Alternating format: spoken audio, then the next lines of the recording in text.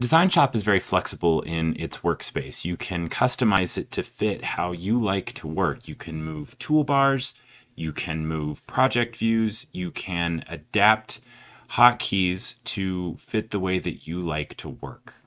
To start off, any toolbar that you see that has a little handle here is movable and dockable. So I can pull it off of this toolbar. I can move it around where I want it. If I want to redock it, I can double click to have it go back where it was. If I want it somewhere else, I can drag it over and have it redock to that. Or if I had another monitor, I could move it off onto that other monitor and get myself a little bit more real estate.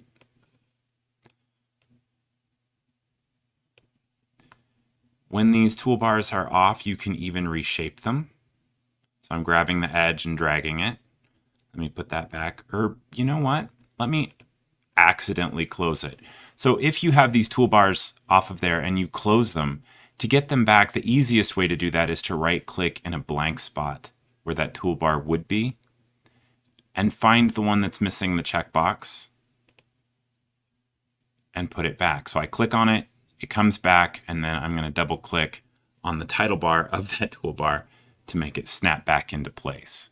The input toolbar is also movable and dockable. I can drag it off of there. I can again move it onto another screen if I want the real estate, and I can move it back. If I close it, I can right click and find the checkbox. If you can't find the room, if I'm clicking and I'm getting customized, that, that allows you to customize what shows up on the toolbar, but not where the toolbar shows up. If I can't get the room, if I can't find the blank space where the check marks come up, you can also go to View, go down to Toolbars, and find the one that you're missing. So I'm going to put it back. The project view, that's this area over here. It too movable and dockable.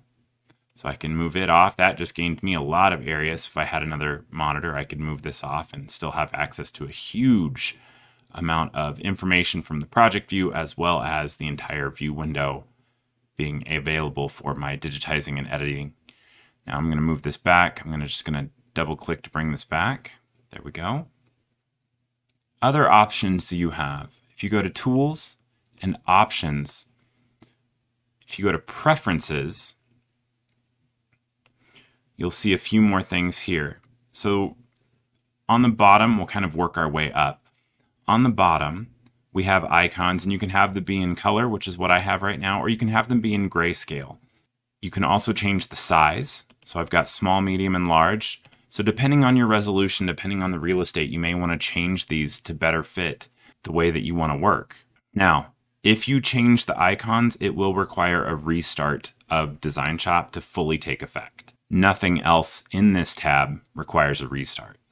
Next up, we have digitizing sound. So if I have this on, when I'm digitizing, every time I click, it will make a sound.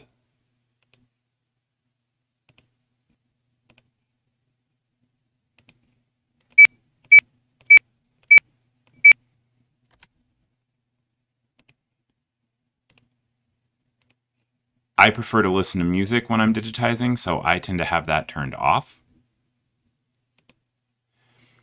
Other things you can do, you can change your digitizing cursor. So right now I have just the arrow, but you can have it be a crosshair, small or large. You can have it have a circular eye in the middle or not, or you can go full screen crosshair. And that looks something like this. So as I'm digitizing, I now have a full screen crosshair. This is handy for trying to line things up. Let's go back in. Tools, Options, Preferences. I'm going to go back to that arrow. The next property up is auto scroll. And what that does is if you are digitizing along and you kind of bump the edge of the screen, it will pan the screen in whatever direction you're bumping. So as long as it's enabled, you can change the speed here, but as long as it's enabled, if I'm digitizing along and I touch the side of the screen, it will pan in whatever direction I'm touching.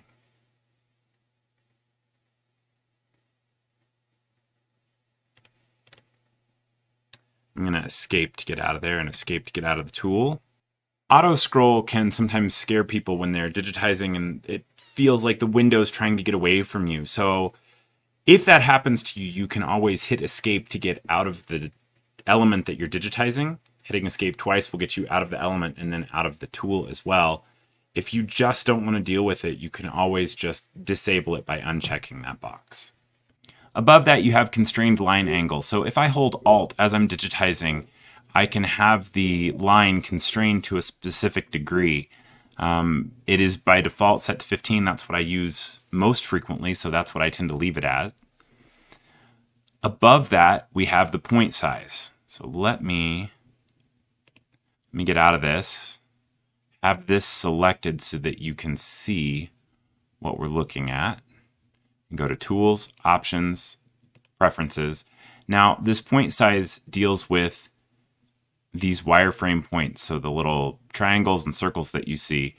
When I am shooting videos, I tend to slide this up to make it a little bit easier for my viewers to see. So as I hit apply, these wireframe points just got a little bit bigger, a little bit easier to see, and a little bit easier to grab.